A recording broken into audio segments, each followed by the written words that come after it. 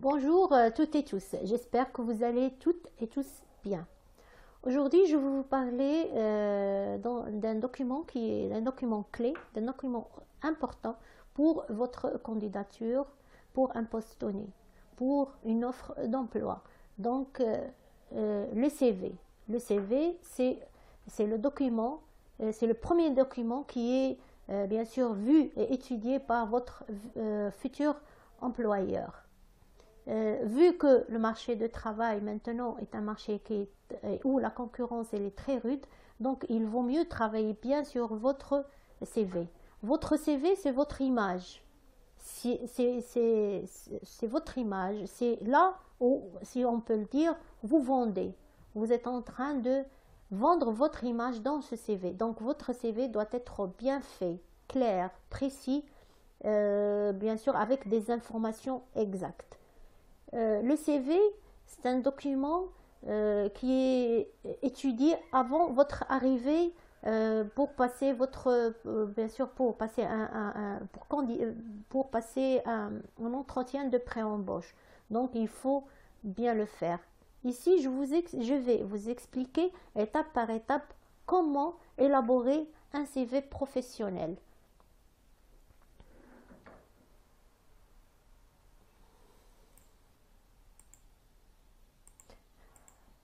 Avant, bon, avant de rédiger votre CV, la première des choses, c'est il faut tenir compte des besoins de son futur employeur. Donc, euh, votre futur employeur, qu'est-ce qu'il demande dans cette offre d'emploi? C'est en fonction de ce, euh, de ce que demande votre futur employeur que vous allez euh, préparer votre CV. Parce que nous tous, on a un CV avec, euh, nous avons un CV, nous avons élaboré un CV avec beaucoup d'informations sur ce CV. Donc, ce, que je vous conseille, c'est d'avoir un CV avec beaucoup d'informations, mais pour, dans le cas où vous voulez, bien sûr, euh, postuler pour un poste donné, ou bien sûr répondre à une offre d'emploi, vous allez travailler ce CV. Vous allez prendre toutes les informations bien sûr, ou, bien extraire les informations qui vont, euh, bien sûr, euh, qui, qui, sont demandées par votre futur employeur en fonction de ce qui est demandé, en fonction de l'activité aussi d'entreprise. C'est comme ça, ainsi, vous allez euh, préparer votre CV ou bien élaborer un CV qui répond aux besoins de votre, au futur, votre futur employeur. Il faut bien sûr euh, bien sûr, vous préparez, vous dites, bien sûr, qui êtes-vous ici, j'ai mis qui êtes-vous Qui êtes-vous? Là, dans votre tête, vous allez vous organiser sur, sur, sur, quoi, sur quoi vous, ce que vous allez, bien sûr, écrire, ce que, ce que vous avez, vous allez mentionner qui est en, rapport avec vous, vos informations personnelles, qu'est-ce que vous allez écrire, qu'est-ce que vous allez mentionner, qu'est-ce que vous pouvez dire sur vous? Donc, comme je viens, j'ai dit, vous allez dire beaucoup, vous allez euh, bien sûr mm, dire beaucoup d'informations. Ces, informations doivent être euh, bien sûr choisies soigneusement. Ce que vous allez dire de vous, comment vous allez parler de vous-même. Que pouvez-vous apporter à l'entreprise? Que vous allez apporter à cette entreprise? Bien sûr, tout ça, vous allez vous préparer pour dire qu'est-ce que je vais apporter à, cette entreprise? En fonction, de, bien sûr, en fonction de l'activité de l'entreprise, en, fonction de ce qui est demandé sur, dans l'offre euh, d'emploi. Qu'est-ce qui est demandé? Là, vous allez, bien sûr, sur votre CV, vous allez mentionner ce qui est bien sûr en rapport avec l'entreprise. Votre expérience, ça c'est effectivement c'est l'expérience. Vos expériences, qu'est-ce que vous pouvez faire pour cette entreprise? Qu'est-ce que vous allez apporter comme qu'est-ce que euh, bien sûr votre expérience est-ce qu'elle sera utile pour cette entreprise? Il faut choisir, bien sûr, vous avez beaucoup d'expérience, il faut choisir les expériences qui sont en rapport, en rapport avec, votre, avec cette entreprise. Organisation structure de votre CV. Télécharger un modèle format Word et le personnaliser. Donc il faut bien sûr, vous avez beaucoup de formats, ce n'est pas la peine de créer un modèle euh, de CV Bien sûr, vous pouvez le faire, prenez d'ici d'ici des informations et des, modèles et pouvez euh, bien sûr élaborer un modèle spécifique à vous, mais pouvez aussi, il y a des modèles où vous pouvez travailler, prendre le modèle et travailler sur ce modèle et le personnaliser en fonction de vos informations et ce que vous allez écrire sur, euh, dans ce, ce que vous allez mettre dans votre CV. Donc le format Word, c'est ce qui est, bien sûr, Word, c'est ce qui est conseillé. Il est facile à utiliser, il est simple et aussi efficace comme information. Vous voulez mettre, euh, bien sûr, pour, pour la rédaction, c'est euh, le format Word, c'est très facile. Là, je vous ai mis, ce sont des, des, modèles euh, de, CV. Comme vous voyez, ils sont pas, c'est ça, c'est simple, c'est facile à faire avec bien sûr des couleurs, bien sûr c'est organisé, des parties qui sont claires. Donc, euh, c'est ainsi qu'on doit bien sûr, euh, pour la présentation de ça, c'est pour la présentation de votre CV, c'est clair, avec des, couleurs. Euh, bien sûr, si vous pouvez faire une impression avec des couleurs, c'est bien, c'est meilleur. Mais bon, la présentation, c'est l'organisation par des parties. Vous avez des, des, des paragraphes et tout ça. Ça, c'est un CV qui est clair. Indiquez vos coordonnées. Donc, vous devez indiquer sur un CV, la, première des choses, c'est indiquer vos coordonnées. Votre nom, prénom, date de naissance, situation familiale, adresse électronique et postale, vos numéros de téléphone où on peut vous joindre. Euh, donc, euh, tout ça, ça doit être clair sur votre CV. Si on a besoin de vous, on va, si vous êtes accepté, donc on, accepté, on va vous appeler pour, euh, pour le poste.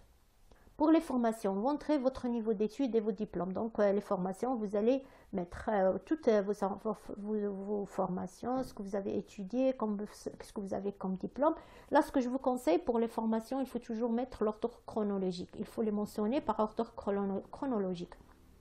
C'est mieux parce que c'est bien organisé et c'est vraiment très clair pour le recruteur. Va, le recruteur, donc il va voir, votre année vous où vous avez eu votre l'année de votre euh, obtention de bac, l'année de votre obtention de votre licence, de votre master, de votre doctorat.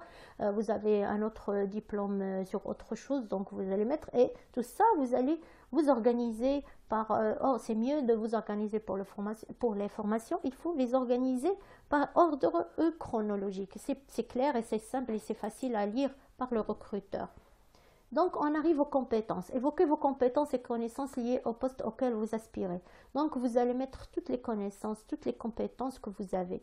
Vous avez beaucoup de donc vous pouvez faire beaucoup de choses. Donc, il faut les mentionner toutes vos compétences que vous pouvez faire euh, dans ce poste. Euh, euh, vous êtes comment comment vous allez bien sûr toutes toutes vos compétences. Vous allez pouvez, bien sûr, euh, vous êtes quelqu'un de bien organisé, vous êtes quelqu'un de, qui peut travailler en équipe, euh, vous êtes quelqu'un qui, qui a beaucoup de connaissances sur, le, par exemple, comptabilité, par exemple, euh, bon, tout, tout, tout, beaucoup de connaissances. Donc, il faut toujours mentionner ce, que vous savez, vous avez comme compétences que vous avez faire. Donc l'expérience, vérifiez bien quelles sont parmi vos expériences celles, qui enrichissent la vision que l'employeur peut avoir de vous. Donc euh, pour l'expérience, vous, vous n'allez pas mettre toutes les expériences que vous avez, mais toujours vous allez mettre l'expérience ou vos expériences qui sont en rapport avec votre avec le poste euh, demandé.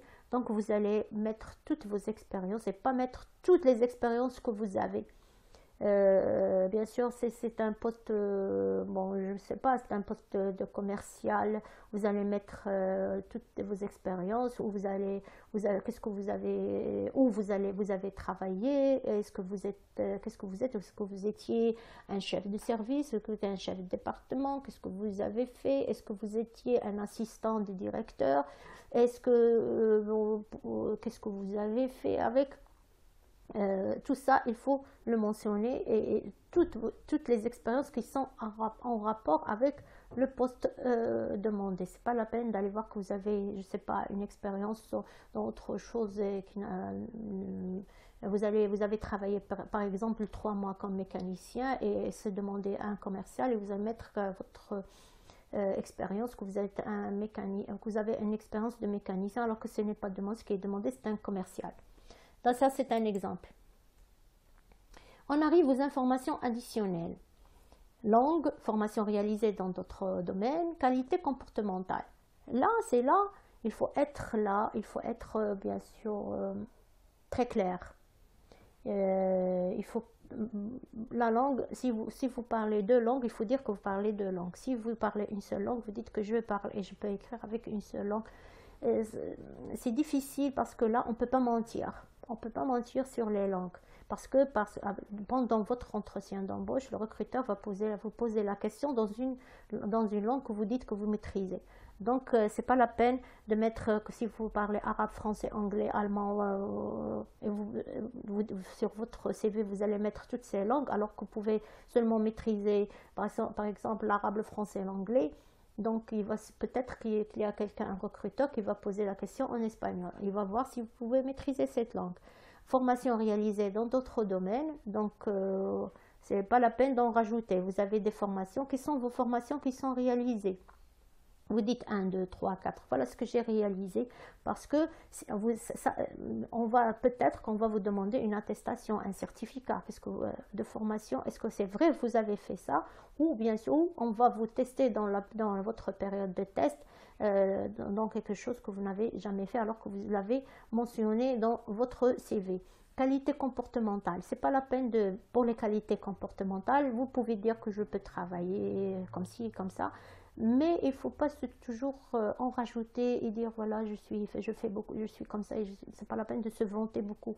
Dire seulement ce que comme vous êtes ce que deux ou trois qualités comportementales c'est assez et c'est vraiment euh, vraiment c'est ce qu'il faut dire. C'est pas c'est pas la peine de se vanter de soi-même.